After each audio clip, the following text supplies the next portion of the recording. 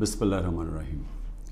या कनाबद वैया कनास्ताइन मेरे पाकिस्तानियों, आजकल एक पूरी मीडिया के अंदर चला हुआ है कि जी, शाह महमूद कुरैशी मुझे मिलने आए और वो कोई प्रपोज़ल लेके आए हैं माइनस वन की।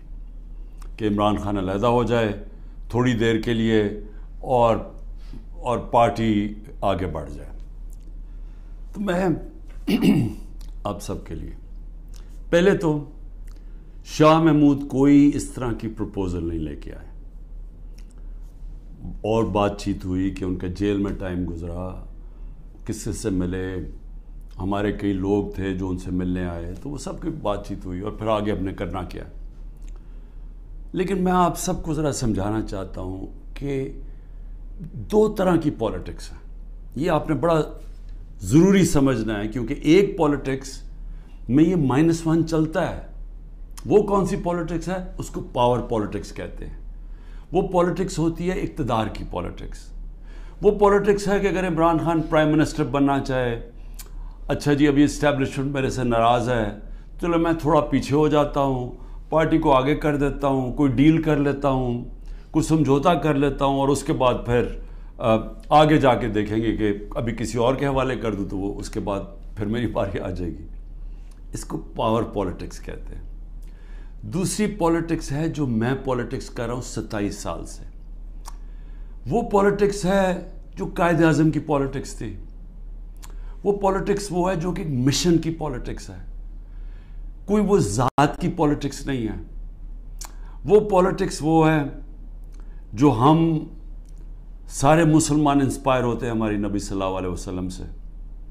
कि उन्होंने भी एक मदीना की रियासत संभाली थी।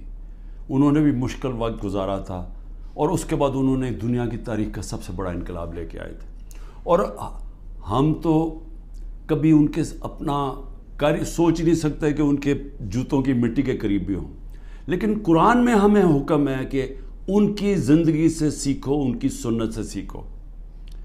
वो पॉलिटिक्स बड़े मकसद की है। वो अपनी ज़ात से हट के है। कि मेरे नबी सल्लल्लाहु अलैहि वसल्लम जब सारा अरब उनके नीचे आ गया था तो उन्होंने अपना रहन सहन नहीं बदला। वो जिधर थे, उधर ही रहे। मकसद बड़ा था। तो हम तो उनसे इंस्पायर हुए हुए मैं तो ना पॉलिटिक्स में आता ही ना कभी। तो मैंने जो इंसाफ की तहरीक शुरू की थी, ये मदीना और कहा था कि इस्लामी फलाई रियासत हमारा मकसद है। हम मदीना की रियासत से इंस्पायर हुए हुए थे। हम उनकी सुन्नत से इंस्पायर हुए थे कि जो वो इनकलाब लेके आए थे।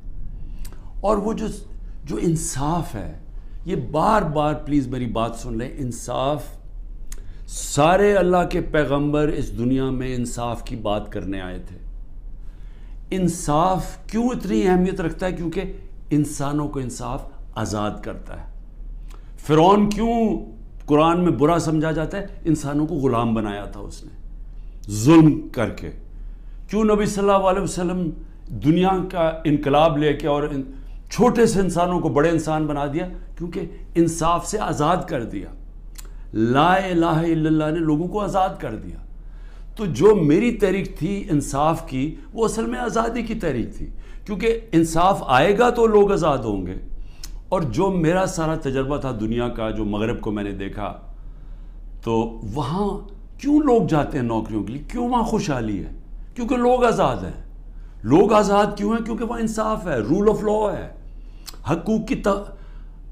उनका इंसाफ का निज़ाम मेरे हकूक़ की हिफाजत करता है वहाँ ये हरकतें नहीं हो सकती जो पाकिस्तान में होती रही हैं और मैं ये भी कहता हूँ कि मेरे अपने लोगों को मैं अपनी अब टीम को बताता हूँ कि अब आपको पता चला जो हमारे पर जब जुल्म हुआ, कि कैसे पाकिस्तान का कमज़ोर तबका, मज़दूर, हारी, किसान, जो कमज़ोर तबका है गरीब, वो छाबड़ी वाला, छोटे दुकानदार, छोटे सनतकार, ये हर वक्त उनको इसका जुल्म का सामना करना पड़ता है।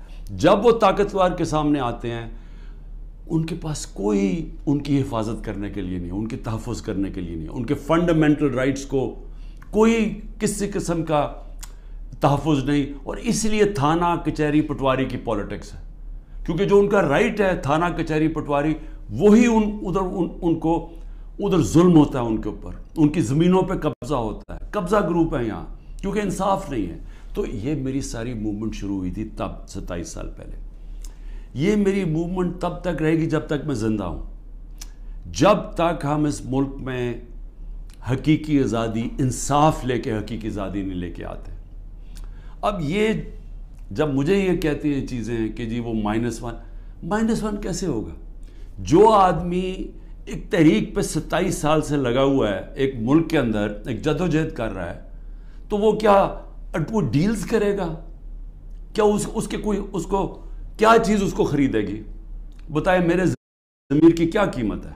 क्या प्राइम मिनिस्टरशिप कीमत है कि अगर आप ये ये कर दे तो आपको प्राइम मिनिस्टर बन, मैं तो प्राइम मिनिस्टर बन चुका हूँ। और मैंने जब प्राइम मिनिस्टर बना, मैंने एक बात कही कि अगर फिर वो मुझे 2018 का मौका मिलता मैं कभी, मैं सीधी इलेक्शन फिर से करवाता। क्योंकि जो मैं इंसाफ लाना चाहता हूँ और ताकतवर को कानून के नीचे लाना चाहता हूँ, वो आ ही तब सकता है जब आपके पास ताकत हो। तो जब एक कमज़ोर, एक कोलिशन गवर्नमेंट वो कैसे उस पर कैसे ताकत होगी कि इस मुल्क में इंसाफ कायम करे? तो मैंने इसलिए बार बार मैंने कहा, मेरे से जब लोगों ने पूछा कि आपने क्या गलती की? मैंने कहा, मैंने गलती ये की कि मुझे शुरू में इलेक्शन करवा देने चाहिए थे। और कमज़ोर गवर्नमेंट से मैं वो असलाहत जो लाना चाहता था, वो नहीं ला सकता था। तो अब मैं आपको बताऊँ कि जिस तरह की हरकतें हो रही हैं मेरे लोगों के ऊपर, मैं इसलिए ये आपके सामने रखना चाहता हूँ कि आज़ाद माशरों के अंदर ये नहीं हो सकता। ये सिर्फ़ ग़ुलामों को होता है। ये सिर्फ़ फ़रौन ऐसी हरकतें करता था लोगों के ऊपर दहशत फैलाने के लिए जो आज हमारे पे हो रहा है। और मैं सारे पाकिस्तानियों को कहना चाहता हूँ, जो इस वक्त ये पीडीएम वाले भी बैठे हुए हैं, ये जो आप तमाशा देख रहे हैं, ये याद रखें कि ये आज हमारे पे जुल्म हो रहा है। ये जुल्म आपके ऊपर भी होगा। जब एक मुल्क के सारे इंसाफ के इदारों को, जब उनको इस्तेमाल किया जाता है हकूमती इदारों को इस्तेमाल किया जाता है एक पार्टी को ख़त्म करने के लिए और उनके लोगों के ऊपर दहशत फैलाने के लिए। तो ये सिस्टम फिर जाता नहीं है कोई भी संभाल के ये सिस्टम सब इस पर अगर आज हमारे हकूक नहीं, अगर हमारे फंडामेंटल राइट्स नहीं है तो ये अब कल आपके भी नहीं होंगे। फंडामेंटल राइट्स तो एक कौम के हिफाजत होते हैं ना, इनको ह्यूमन राइट्स कहते हैं। ये ह्यूमन राइट्स सारे मुल्क के होते हैं। ये नहीं होता कि एक तबके के आप ह्यूमन राइट्स ले लें और वो तबका क्या है? मुल्क की सबसे बड़ी जमात, जिसका सबसे बड़ा वोट बैंक है। अगर आप उसके ह्यूमन राइट्स आज वायलेट कर रहे हैं तो इसका मतलब ह्यूमन राइट्स नहीं है। क्योंकि ह्यूमन राइट्स को तो एक मुल्क की अदलिया उसकी हिफाजत करती है। तो हमारी अदलिया के तो कुछ सोता ही नहीं हम। हमारी अदलिया ने तो सुप्रीम कोर्ट कहता है इलेक्शन होगी चौदह मई को। आइन के मुताबिक गवर्नमेंट परवाही नहीं करती।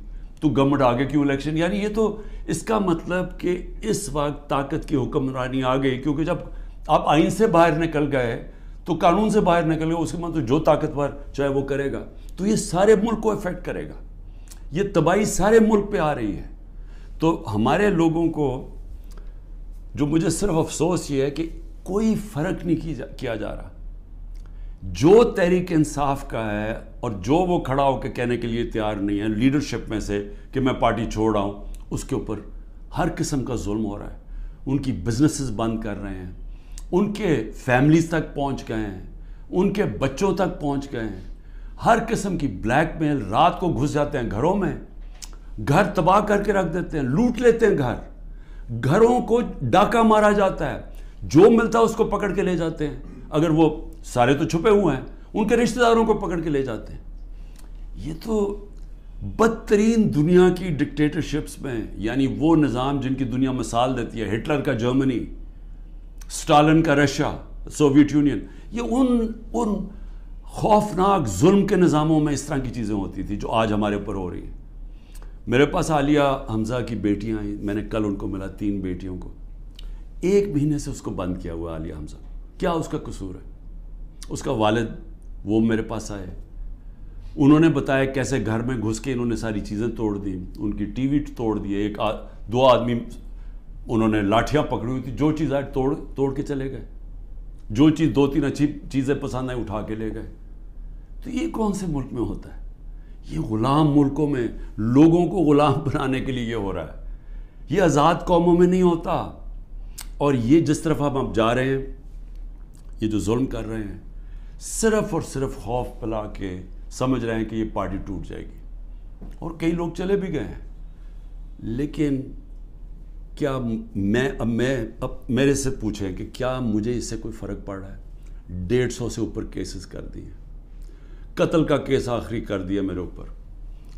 मुझे 19 19 बेलें लिए मैंने एक दिन में। ये दुनिया का रिकॉर्ड है। उसके बाद चार घंटे नैब में बैठा हूँ। चार घंटे नैब ने मेरे से वो जो सवाल पूछे, मैं चैलेंज करता हूँ कि किसी अदालत के अंदर कभी भी ये केस की कोई अहमियत हो जाए। कोई केस ही नहीं है। कैबिनेट का फैसला है। सारी कैबिनेट ने फैसला किया।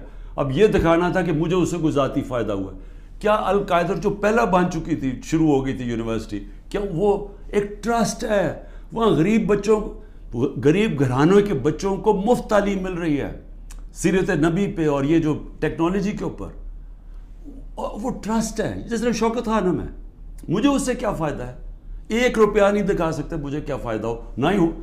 किसी ट्रस्ट से किसी को फ़ायदा नहीं हो सकता। ट्रस्ट डीड में लिखा हुआ है। तो वो केसेस भी हैं कत्ल का केस भी है। आ, हर रोज़ कोई नए केस आ जाता है। अदालों के मैं चक्कर मार रहा हूँ। लेकिन मुझे इससे कोई फ़र्क नहीं पड़ता। मैं हर अदालत में जाता हूँ हर केस में जाता हूँ। ये बताने के लिए कि मैं कानून से ऊपर नहीं हूँ जबकि मेरे ऊपर ये ये जान के किया जा रहा है। ये मुझे खौफ दिलाने के लिए किया जा रहा है। मैं ये आज कहना चाहता हूँ कि या इससे ये, ये सारे केसेस करें। और इस केसेस में क्योंकि किसी अदालत में कोई सज़ा नहीं हो सकती। मिलिट्री कोर्ट्स सेटअप किए हैं। अप्रूवर ढूंढे जा रहे हैं जो कहेंगे जी इमरान खान ने हमें कहा था कि वो कोर कमांडर का घर जलाओ। ये कहेंगे, उनमें से कोई अप्रूवर आ जाएँगे, मुझे मिलिट्री कोर्ट में ले जाएँगे, सजा हो जाएगी। मुझे कोई फ़र्क नहीं पड़ेगा। जो आदमी एक मिशन जो 22 साल स्ट्रगल करके, जो अगर 22 जिसके पास सब कुछ था, कोई ज़रूरत नहीं थी 22 साल स्ट्रगल करने की। अगर वो आज 27 साल के बाद अगर किसी का ख्याल है कि मैं जेल से डर जाऊँगा या जो भी है, जो जो ढाई कातलाने हम, दो दो मेरे ऊपर हमले हो चुके हैं कत्ल करने के लिए। एक मुझे वक्त पे पता चल गया तो मैंने टीवी पे बता दिया कि क्या करने जा रहे थे। तो उससे क्या फ़र्क पड़ेगा? जो जो कातलाना हमले से नहीं डरता तो वो किससे और डरेगा? लेकिन उससे भी ज़्यादा घटिया पान, मेरी बहनों तक पहुँच गए हैं। मेरी बीवी के ऊपर केस, ट्रस्टी हो के उसका वारंट का, एक ट्रस्टी ट्रस्टी को एक पैसा नहीं मिल सकता। क्योंकि वो सीरत नबी में बहुत उनकी स्टडी है। वो इंटरेस्टेड थी अलकादर यूनिवर्सिटी वो ट्रस्टी है उसके ऊपर वारंट निकाल दिया। मेरी बहनों के ऊपर, मैं सिर्फ़ ये बता रहा हूँ कि किस लेवल पे पहुँच गए हैं। एक बहन का बेटे के ऊपर वारंट निकाला है। उसका खनसामा उठा के लगे वो बेटा नहीं था। खनसामा जब वापस आया, वो आईसीयू में दो हफ़्ते से पड़ा हुआ है आईसीयू के अंदर खनसामा उसे पता है क्या किया वहाँ जेल के अंदर। एक बहन उसकी बहू के पास पहुँच गए कि जी, आप कोई जियो फेंसिंग में आप कहीं थी, उसके पास पहुँच गए। एक बहन, उसकी ज़मीन, उसकी लय, उसके ऊपर एंटी करप्शन पहुँच गई है। मैंने अपनी बहनों को वैसे कहा, मैंने कहा, देखो, मुल्क से बाहर चले जाओ। वो तीनों खड़ियाँ नहीं हम फेस करेंगे, हम नहीं जाते। मुझे कई दफ़ा, जी, इमरान खान, आप मुल्क से बाहर, मैं क्यों मुल्क से बाहर जाऊँगा? यानी मैंने अगर कोई करप्शन की होती तो मैं भी शायद जिस तरह ये भाग जाते हैं, जब इनके ऊपर इकतदार से निकलते हैं, सब बाहर भाग जाते हैं। क्योंकि इनके केसेस होते हैं, बाहर भागते हैं केसेस रुक जाते हैं। मैं सारे केसेस फेस करूँगा, क्योंकि मैंने कोई गलत काम नहीं किया। मुझे पता है, अल्लाह अलहक है। ये खुद ही जब ये जो कोयटा का मर्डर केस किया, ये खुद ही जलील हो रहे हैं उसमें। सबको पता है, कोयटा के अंदर सबको पता है कि उनकी दुश्मनी थी। मैं फिर आगे आपको कहूँ अब आगे क्या रास्ता है? मुल्क का रास्ता आगे क्या है? मैं जो ये इनसे बात करता हूँ कि मेरे से बातचीत करो, कोई बातचीत नहीं करता। मैं अपनी इस्टेब्लिशमेंट आर्मी चीफ से उसे कहता हूँ कि बातचीत करो, वो कोई बातचीत करने के लिए तैयार नहीं है। मैं अपनी ज़ात के लिए आपसे बात नहीं करना चाहता। मुझे आप कुछ नहीं दे सकते। कौम मेरे साथ खड़ी है। क्या कोई दे सकता है? मैं कोई चोर दरवाजे तो, तो आना नहीं चाहता। अगर कौम मुझे वोट देगी मैं तैयार हूँ। लेकिन अगर कौम वोट नहीं देगी तो नहीं। अल्लाह ने तो सब कुछ मैं वो अल्लाह ने का शुक्र अदा करता हूँ हर वक्त का जो उसने मुझे दिया लेकिन मैं बात करना चाहता हूँ कि मुल्क तबाही की तरफ़ जा रहा है। ये जो बजट आया है इस बजट के अंदर ज़रा आपको समझ आ जाना चाहिए कि हम हम अब किधर एक एक दलदल के अंदर धसते जा रहे हैं। आप ये सोचें कि फेडरल गवर्नमेंट जो सारा जब वो पैसे दे देगी सूबों को, जो पाँच हज़ार अरब रुपया सूबों को जब जाएगा तो फेडरल गवर्नमेंट के पास जो पैसा बचेगा, उससे ज़्यादा जो हमारा सूद देना है हमने, कर्ज़ों के ऊपर सूद देना है, वो सूद उससे ज़्यादा है। सात हज़ार तीन सौ अरब रुपए का सूद देना है। मुश्किल से फेडरल गवर्नमेंट के पास बच जाएगा। सात हज़ार अरब से भी कम। तो सारा फिर मुल्क कर्ज़ों पे चलेगा। हमने साढ़े तीन साल में अठारह हज़ार अरब अठारह हज़ार चार सौ अरब कर्जा लिया था। अठारह हज़ार चार सौ अरब कर्जा साढ़े तीन सालों में। इन्होंने तकरीबन पंद्रह हज़ार अरब कर्जा एक साल में ले लिया। तो ये कर्जे चढ़ाए जा रहे हैं। इंडस्ट्री बंद हो रही है। ग्रोथ रेट जो थी, जिससे दौलत में इजाफा होता है वो छः इशारिया एक फ़ीसद साल पहले थी। आज वो पहुँच गई है सिफर इशारिया तीन पे। तो जो दौलत है, उसके अंदर तो कमी हो रही है। कर्जे बढ़ते जा रहे हैं। डॉलर किधर से आएँगे? इन्होंने पच्चीस, तीस अरब डॉलर एक साल के अंदर देने हैं। वो किधर से आएँगे? तो मैं आज इसलिए ये सवाल पूछ रहा हूँ कि कोई तो रोड मैप होगा ना। अभी तो रोड मैप ये है कि किसी ना किसी तरह इमरान खान और इमरान खान को ख़त्म करो। और अगर पीटीआई इमरान खान से तो उसको ख़त्म करो। तो अभी तो ये वन वन पॉइंट एजेंडा सारी एजेंसी सब कुछ सारे मुल्क के इदारे वो इसी पे लगे हुए हैं काम करने। लेकिन मैं सवाल कुछ और पूछ रहा हूँ। मैं ये नहीं कह रहा कि, करें हम खड़े हैं। इसमें से एक आप ये कर्म कर रहे हैं कि मेरे जो नज़रियाती लोग हैं वो नज़र आना शुरू हो गए हैं कि वो नज़रियाती लोग कौन है और वो नज़र आना शुरू हो गए कि जो हमारे साथ और मकसद के लिए आए थे, उन नज़रिए के लिए नहीं आए थे। तो एक तो आप फ़ायदा कर रहे हैं, क्योंकि सिर्फ़ नज़रियाती पार्टी अब पाकिस्तान को इस दलदल से निकाल सकती है। लेकिन निकालेगी कैसे? मेरी आखिर में बात सुन लें। एक ही तरह हम निकलेंगे। हमें कोई अब बाहर से पैसे देने के लिए तैयार नहीं है। हमारे जो दोस्त मुल्क हैं, वो भी पैसे देने के लिए नहीं तैयार। मेरे लिए जो सबसे ज़्यादा शर्मिंदगी होती थी कि जब मैं अपने दोस्त मुल्कों से पैसे मांगने गया मुल्क के लिए, क्योंकि दिवालिया निकला हुआ था, हमारा तो उस वक्त मुल्क, हमारे पास तो सबसे बड़ा बैरूनी खसारा छोड़ के गए थे, ये नून लीग वाले, ये इसाक तो उनसे पैसा मांगना सबसे शर्मिंदगी थी। अब कैसे निकल है, मैं आपको बताता हूँ कैसे निकल इसमें एक सोर्स है ओवरसीज पाकिस्तानी, ये याद रख लें, बैरून मुल्क पाकिस्तानी आपको निकालेंगे इधर से। और बैरून मुल्क पाकिस्तानी कैसे निकालेंगे? मैंने फिर से आपको कहता हूँ कि सोलह हज़ार पाकिस्तानी अमेरिकन डॉक्टर्स, उनकी नेटवर्थ 200 अरब डॉलर है।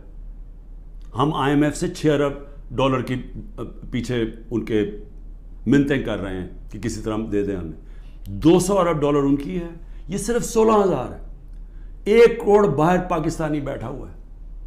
अगर हम किसी तरह उनकी इन्वेस्टमेंट लें, वो या सरमायाकारी शुरू कर दें, बजाय दुबई में करने में और दुनिया में और मुल्कों में कर रहे हैं, अगर वो सरमायाकारी शुरू कर दें, आप यकीन करें ये मुल्क उतनी तेज़ी से उठ सकता है।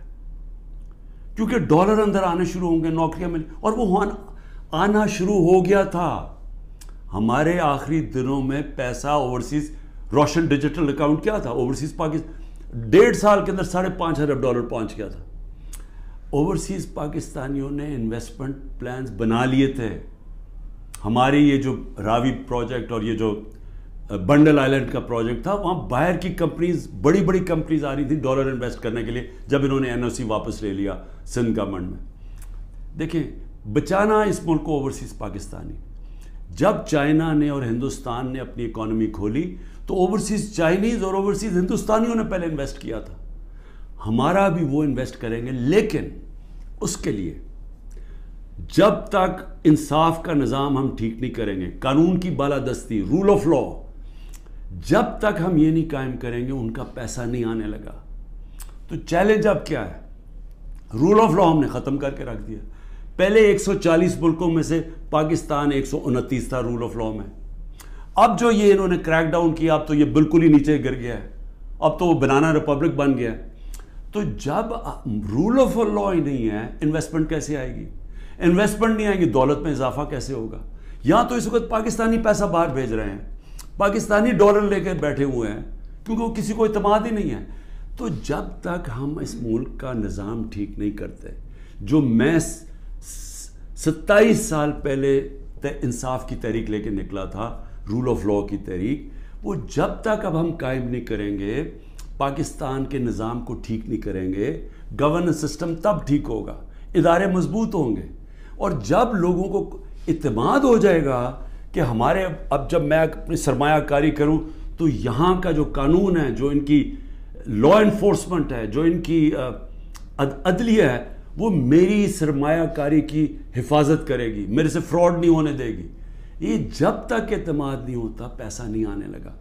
और उसके लिए उसके लिए जब तक के हुकूमत नहीं आती, जो पब्लिक मैंडेट से आए, जिसको पब्लिक सपोर्ट करे, जिसको बड़ा वोट मिले और पब्लिक की सपोर्ट से आए, सिर्फ़ वही वही बड़े बड़े फैसले कर सकती है। नहीं तो इनको तो आपने देख ही लिया। है क्या किया इन्होंने? स्वाय महँगाई करके तारीखी महँगाई अड़तीस फ़ीसद पे, इन्होंने क्या किया? इंडस्ट्री बंद हो गई है, बेरोजगारी बढ़ गई है ग्रोथ रेट इन्होंने और क्या करना है?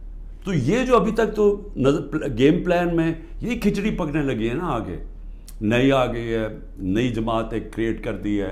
हमने भी अपने बड़े बड़े अच्छे अच्छे सत्ताईस साल पुराने हमने लोग वहाँ भी भेज दिया है उनके पास। और ज़रूरत है तो हुक्म करें, हम और भी भेज देते हैं। लेकिन इससे मुल्क ठीक नहीं होने लगा।